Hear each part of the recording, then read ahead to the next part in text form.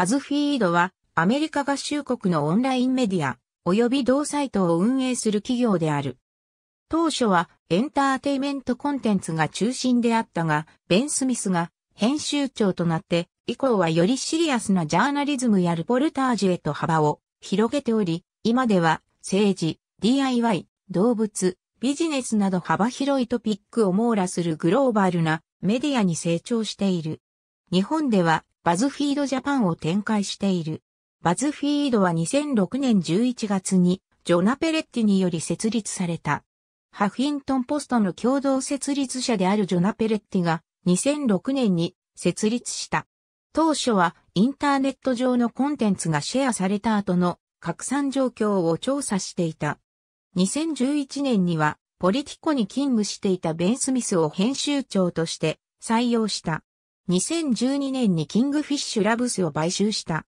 同社は当初 Facebook 広告の活用に特化していたスタートアップである。2013年5月にコミュニティセクションを新たに設置。2014年8月に新しい部署であるバズフィードモーションピクチャーズを発表し、長編動画の制作に着手。2014年10月28日にはトランドラブスの買収を発表した。トランドのチームはバズフィードで最初のデータエンジニアリングチームとなった。2017年11月、2017年、売上高が目標額3億5000万ドルより15%から20%少ないため、2018年に計画していた株式公開を延期する可能性があるとワンバックスニュースが報じた。2020年11月、ベライゾンメディアから同業会社であるハフポストを買収することを発表した。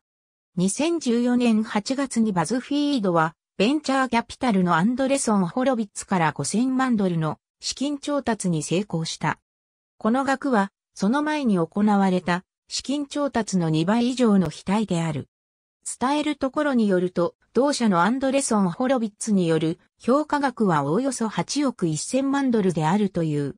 広告収入に関しては、バナー広告ではなく、ネイティブアドを採用している。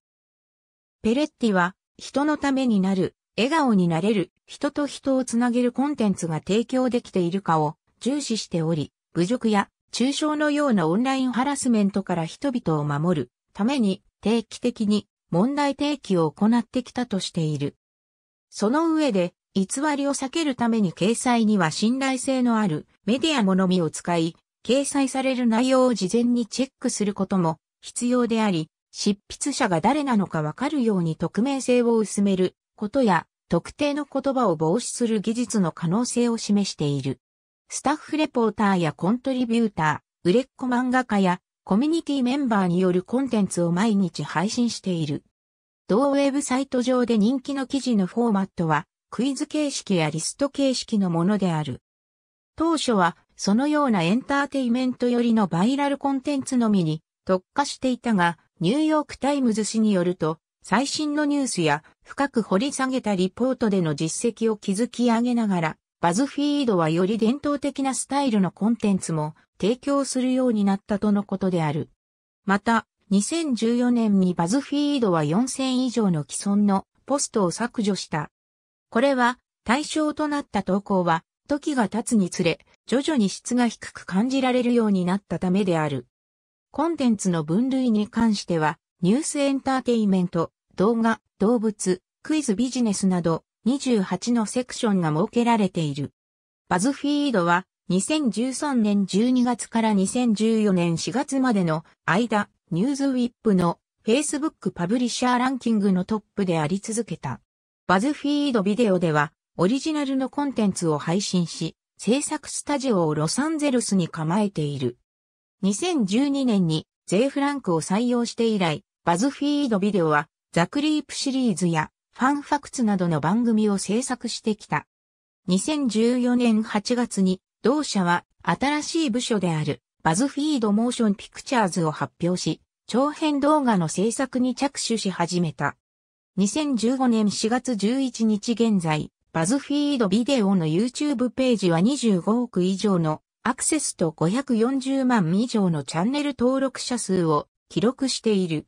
バズフィードはバズフィードビデオ以外にも YouTube 上に多くの動画チャンネルを設置しており、特定のカテゴリーに特化した動画を配信している。例えば、短く楽しい動画を配信するバズフィードイエロー、ぎこちない瞬間などに焦点を当てたバズフィードバイオレットなどである。バズフィードは2013年5月にコミュニティセクションを新たに設置した。これによりユーザーもコンテンツを提供できるようになった。ユーザーは1日に1投稿までという制限があるが、キャットパワーというバズフィードコミュニティ上でのランキングを表すアイコンを多く獲得するにつれ、より多くの投稿が許されるようになる。バズフィードは、主にソーシャルメディア上でシェアされるコンテンツを作ることによってトラフィックを獲得している。また、同ウェブサイトは、社内のデータサイエンティストチームと外装されたダッシュボードにより、コンテンツのテストと追跡を行い続けている。2014年にはバズフィードはアクセスの75%をピントラストやツイッター、フェイスブックなどのソーシャルメディアから獲得した。ありがとうございます。